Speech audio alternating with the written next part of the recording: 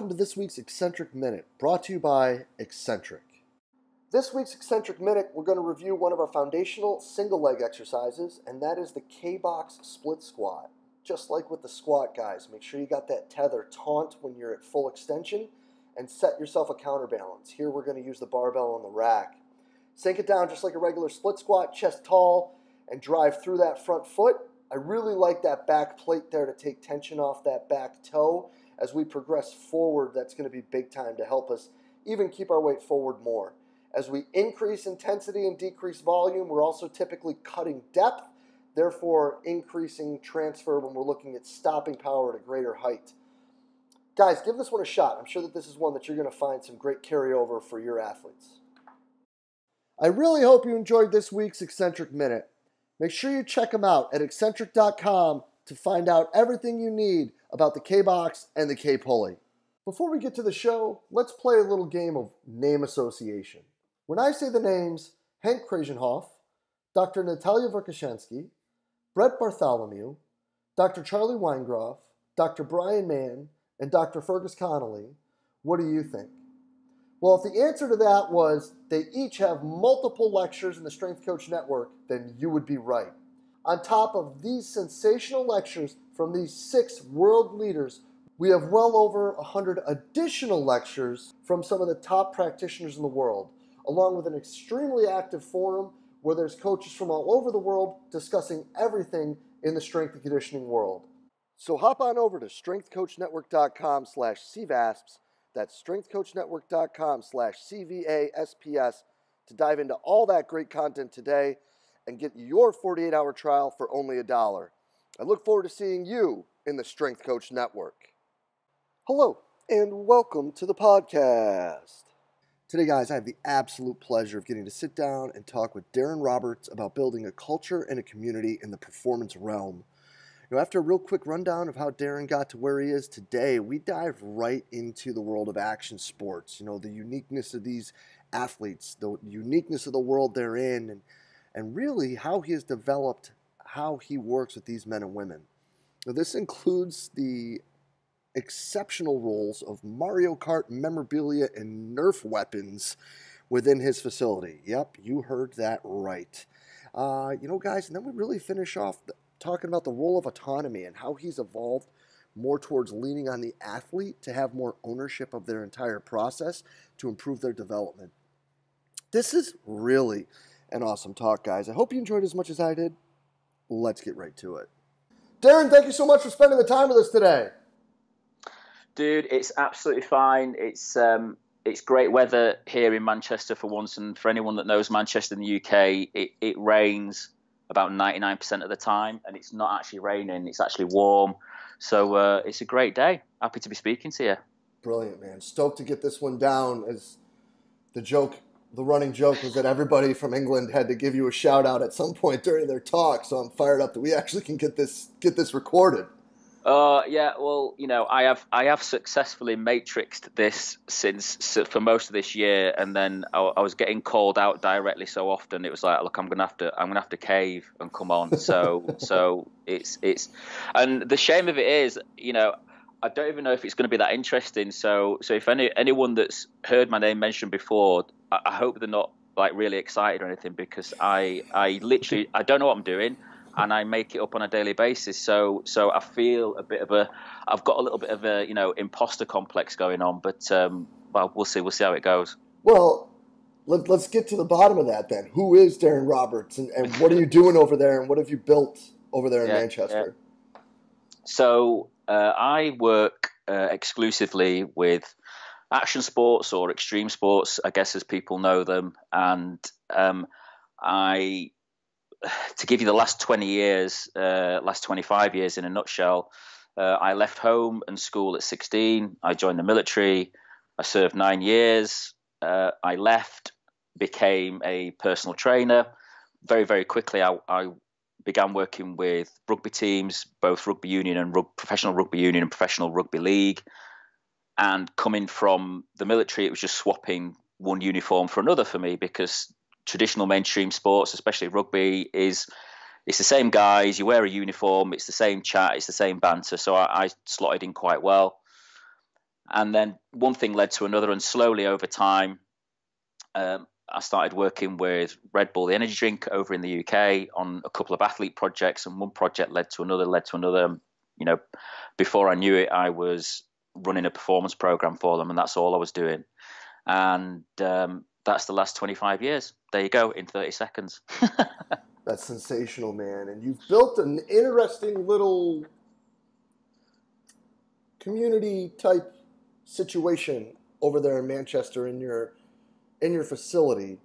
Yeah, I mean, the uh, action sport athletes are, as I always say, are world class because they don't do as they're told. And if they did do as they, they were told, then they wouldn't be throwing themselves off cliffs or mountains or any of the things that they do. So you really need to understand the person, and understand them, understand their community and culture to work with them. And when I first started working with them, I, I because I'd come from rugby, and rugby's you know no different to the military to me. I, I did bring that across with me, and it, it didn't work. And I did have a very much sergeant major approach to it, and it wasn't it wasn't successful.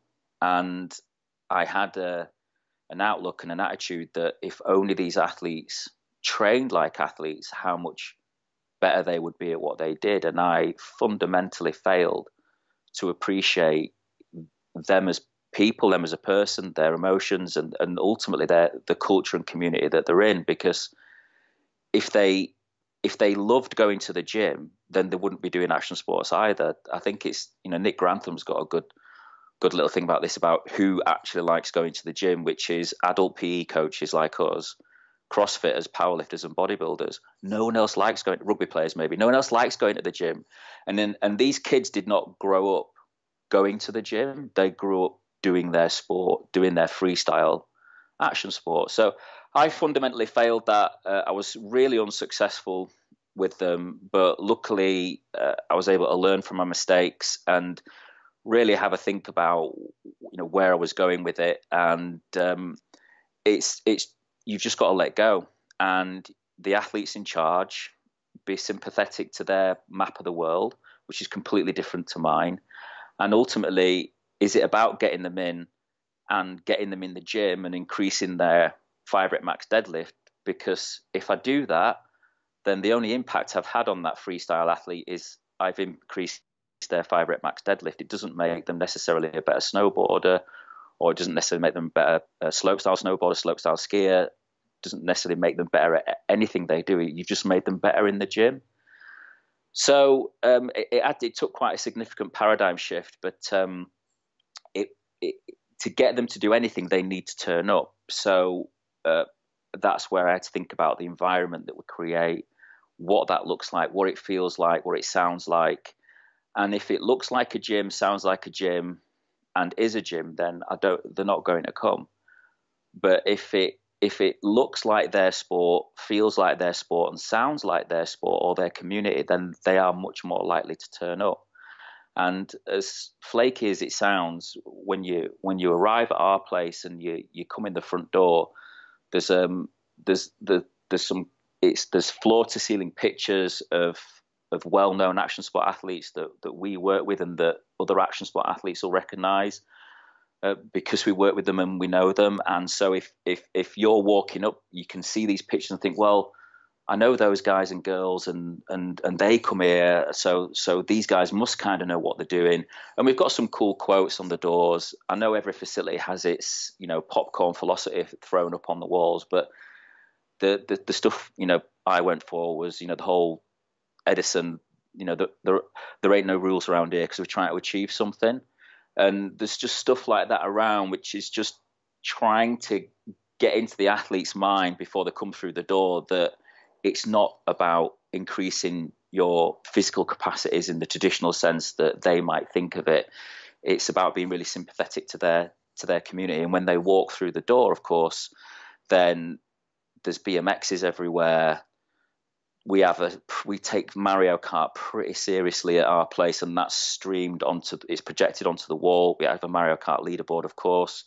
Uh, we have an extensive Nerf gun armory, and uh, the, the all the shirts and pictures that are up around the walls aren't just there to look pretty to say, "Hey, this athlete's being it. Isn't that cool?" Each shirt or snowboard or ski or skateboard or surfboard, whatever whatever the memorabilia is on the wall, is from an athlete that's had a season-ending or career-threatening injury and has come back from injury. And the rules are you're not allowed to put something on the wall of shame, as I call it, unless you're back to, when until you're back to your sport.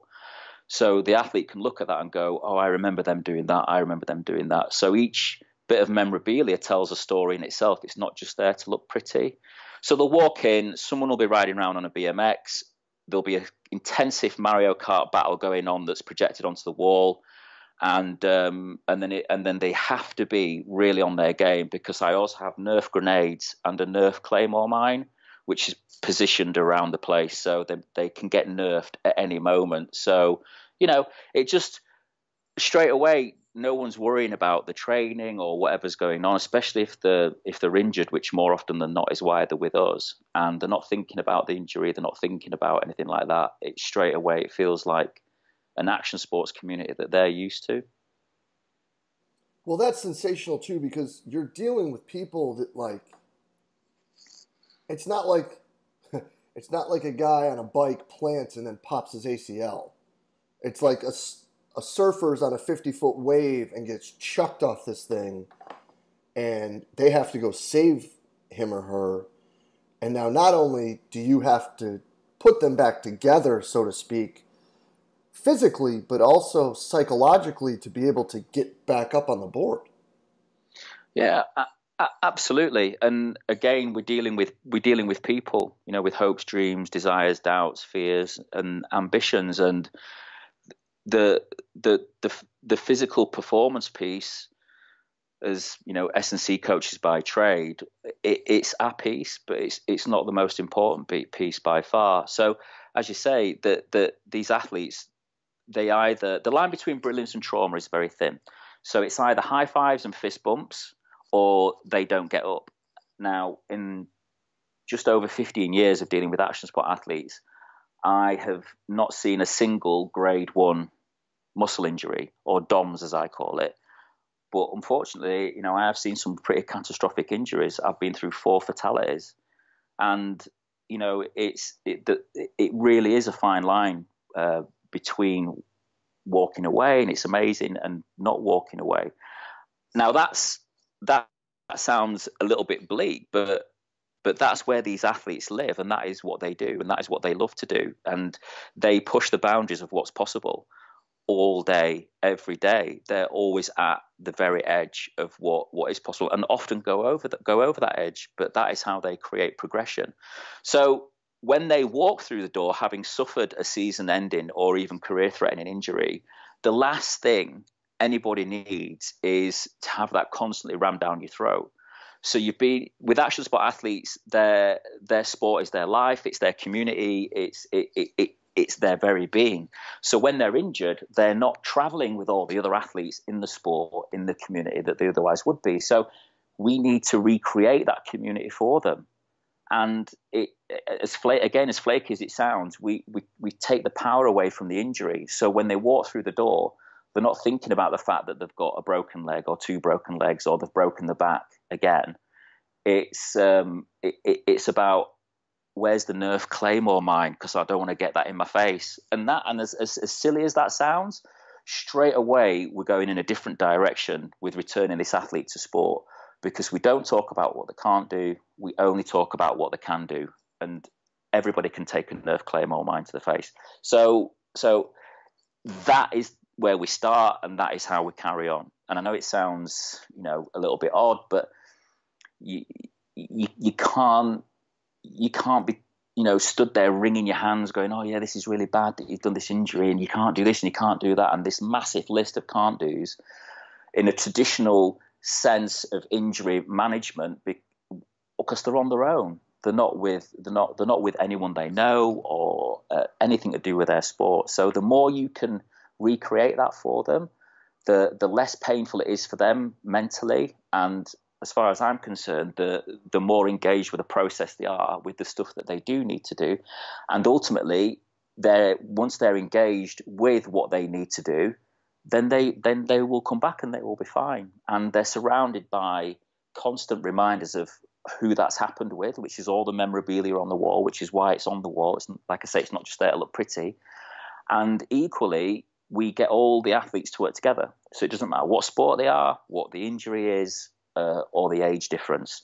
And that's something that I did bring from the military with me was this everybody works together regardless of what's going on. And it gets pretty funny because it's like, well, I've got a broken leg. Well, I've got two broken legs, so there's nothing wrong with you. And you get this real kind of community vibe going, and they all work together. And dare I say, they've all got smiles on their faces despite what has happened to them. And there is light at the end of the tunnel, and they know that they can get back and they will get back. And like we always say to them, you will be back fitter and stronger than you've ever been and you'll be, you'll be ready to go. And they see other athletes at various stages of the return to sport continuum, and it, they they believe, they believe, and ultimately they they have to believe in me. They have to believe in us. They have to believe in the process. I think it's Buddy Murray that says, but Buddy Morris that says, um, you know, athletes don't care what you know until they know that you care, and and I care deeply about these athletes and getting them back to doing what they love to do.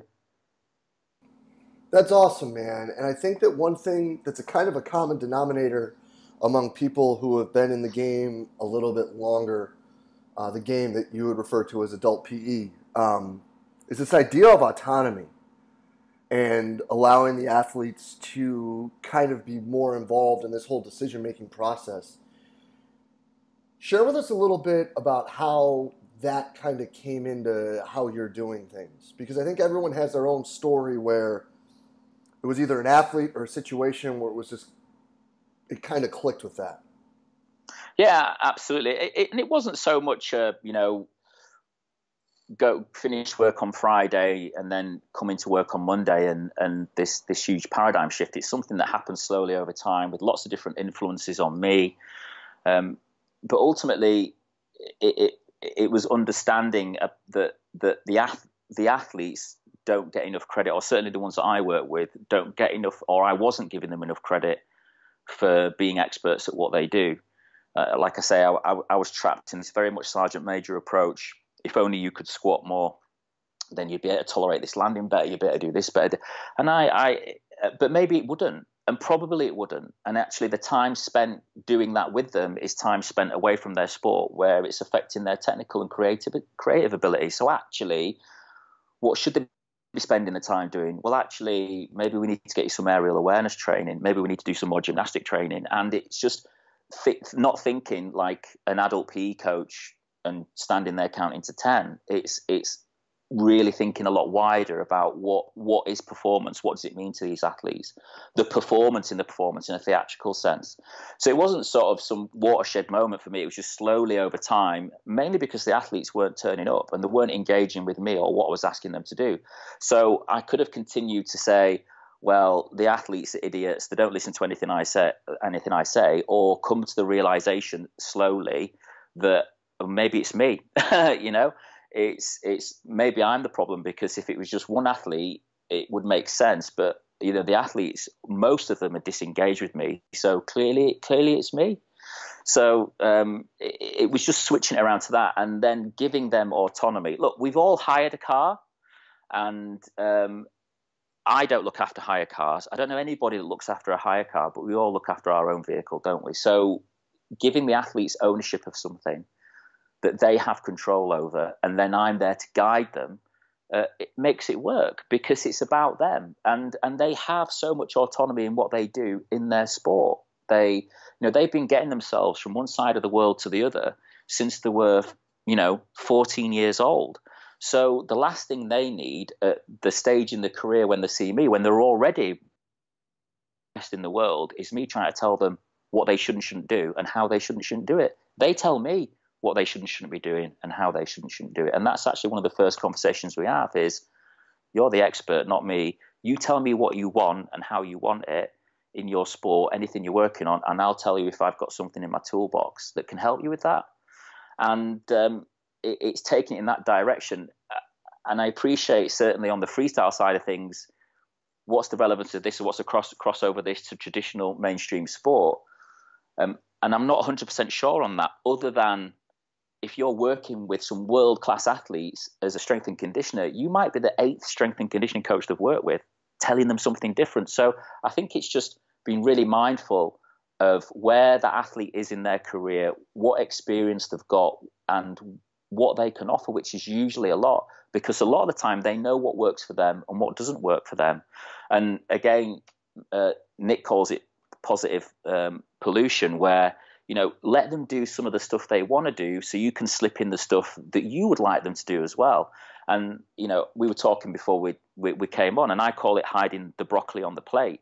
Nobody wants to do physical therapy rehabilitation exercises. Nobody. Nobody wants to stand there waving a rubber band around, doing scap retractions. Like, no one wants to do that.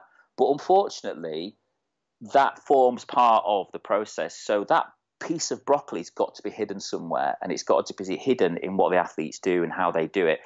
And that starts with them having control. I love that, man. And I love the fact that you're able to work things in and build things together and, give them some autonomy because, you know, we all go to school and we all take classes and we all look at things to talk about, like, you know, these are the techniques that you use for cutting, and this is a technique for sprinting, and this is the technique for, you know, swinging a bat or whatever. But how the hell are you going to tell somebody the technique of doing like a, a front side 180 or whatever? Yeah, and you know, with, with some of these athletes, they, they they sometimes don't know how they do the things that they do, and you know, we talk about flow states, uh, how everything slows down, and again, the action sports is a very very broad spectrum of sports, all the way from athletes that I say are completely feral uh, which is absolutely fine because that's how they do the best. You know, like the the the the, the more the freestyle end, the skateboarders, the BMXers, all the, and then you've got the other end of the spectrum of the athletes who train very very what I would say traditionally, just like you would expect an athlete would. So the supercross BMXers, any supercross motor rider, motocross uh, racer, downhill mountain bikers, cross cross country mountain bike or enduro, they they train uh, very very hard and take it extremely seriously, and so it's a continuum from that all the way to the more of the feral end, and it's just understanding who's in front of you. And on the um, when when I'm working with young coaches, uh, I always say to them, you know, d- deal with what's in front of you, deal with who and what's in front of you today. Uh, because you don't know when you're going to see them again, and there might be, and they themselves might be different next week. So you've just got to take it as is. This is the third time I've men- mentioned Nick Grantham for fuck's sake. So so Nick calls it being a coaching chameleon, and and that, and he's exactly right. Is just changing your your persona, not not persona, but your your your attitude, your vibe, and just changing it slightly to whoever's in front of you. You've got to be able to speak their language, literally uh, and you, you need to know their sport intimately as well, uh, which helps you speak their language for all the different sports. So then let's talk about that back end of the return to, to play, return to participation, return to competition continuum that you get to deal with. Because again, like, this isn't like it's a group of people that in your therapy you can sit there and do just some, you know, easy half volleys with a soccer ball or, you know, a little pitch and catch with a baseball or whatever. Like, they need to get up on a mountain. they need to. Yeah, need yeah, to yeah, yeah, ocean. yeah. No, no, absolutely. So how do you how do you return a big wave surfer to big wave surfing, right? Yeah. So you know, I mean, because there's not many eighty foot waves uh, in our facility. So you know, so how do you? And, and you're exactly right. And it's a huge, huge challenge. But the but that process starts from the day they walk through the door by making them feel part of their community and that they're not missing out on something. Now, how they deal with fear, fear management, you know, how they use uh, fear as a performance tool, how they use their creativity and everything else, all those uh, instinctual things that they've got, which are very, very difficult to grasp, that we play and prey on them through the whole time that they're with us. So everything they do, and this comes back to the autonomy because they have a lot of control over what they do. Everything's got decision making in it. everything's got autonomy in it. Everything's got an element of, let's say, call it anxiety. Like I say to the athletes, if you're not anxious about what we're about to do, then it's not training, it's exercise, and that's fine. We do exercise all the time, and it forms part of what we do. But using emotions and putting it all on them is a, is a key part of them maintaining their creative flair especially when they all work together. Now you get you get four, you get more than three action sport athletes together, whether it's the same sport, different sports, doesn't matter, different injuries. You put three of them together in a room and um, leave them unsupervised for about four seconds, and it will be absolute chaos. And that's exactly how I want it because that's exactly how their sports are. So they start dismantling the gym um, I'm surprised no one's burnt it down by now. You know, it's absolute, and the more of them it is, the worse the worse it is, or as I say, the better it is, because they're doing things, moving in ways, and emotion and feeling emotions that they would not do in what I would call the traditional rehabilitation process. And this is about treating them as people, treating them as a human, and what they've got to go back and do. Because unlike um, unlike what I call traditional mainstream sports, when a freestyle athlete goes back to their sport in six months or a year time, the sport's moved on. The sport has moved on. So to answer your question about how do we get that big wave surfer back, how do we get the snowboarder back, how do we get the motocross athlete back, it, as difficult it is, it's still graded like any other traditional athlete that you turn into sport. So the big wave surfer does not go to Nazare and surf 100 foot waves.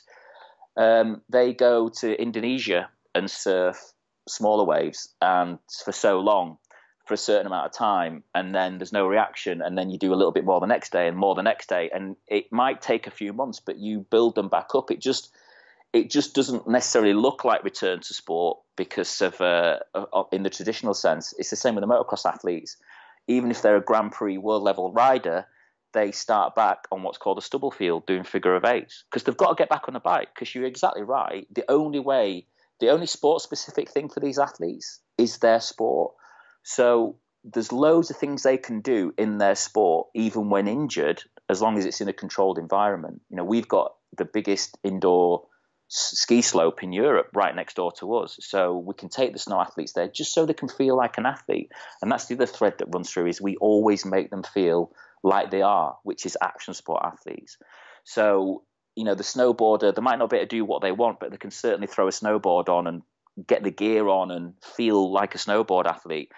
The mountain bikers, they might not be able to do horrendous hardcore downhill runs, but they can certainly get out on a mountain bike to a certain level. So we're always introducing the sport to them because, as I say, the only sport specific thing for these athletes is their sport. But it's just graded like anything else. You just have to be really, really, really creative about how you do it and as I say, it, it's it's not going to happen in the gym. You might have to send them to another part of the world. They they will spend a lot of time in a gymnastic gym doing aerial awareness training. You know, they they or, a parkour gym from the creativity side. So there's always something they can do, and it, it is a gradual process, and it also helps them um, understand where they're at. And again, they're in control of it. They're in control of it. They just have a different map of the world. So the, the so one of the big wave surfers, an easy wave for him to surf, you know, I would probably kill myself on. So you just have to understand their map of the world, what's easy for them, and that you don't put your own, you know, your own perceptions onto them and slow them down. So so it's it's again it's what do you think you can do? How do you think you can do it? Can you ride this? Can you do this? Again, talking about what can you do? What can you do? What can you do? I love that, dude. And I, I, think that that's another thing that ends out being a real common theme is it's not talking about the can't, but the can. So then yeah, let's yeah, talk about something that you can't do, but could have some good things with uh, people listening. You did work in rugby. Yes, I mean, so I um, yeah, so I, I spent a lot of time in rugby. Um, did a season in Premiership football as well, and I think it, you know, it, it's like I say that the action sports are a continuum from athletes that train. You know, any any decent strength and conditioner would ha- wouldn't have a problem working with them. They're super cooperative, take their training extremely seriously, and it forms a huge part of their performance piece for their sport. and as and I normally repeat myself all the way to the more the feral end where they are they are completely out of control.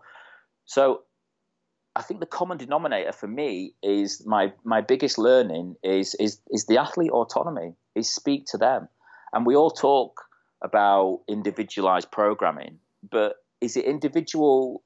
Is it is it individual to the person? Not and I, and I don't just mean from a position or body type or whatever. Is it is what does that person like and what don't they don't they like? Because you can have the most amazing, amazing periodized program. I don't even know if periodization is still a thing. I don't know if that's still in now or if it's out or if it's back in, whatever. But you know, the the whatever plan you've got, it can be the best plan in the world, but the athlete's got to turn up and do it. And the the the things that they don't do will have no effect on them. So so what will they do? What do they want to do? What can they do? What what, what works for them?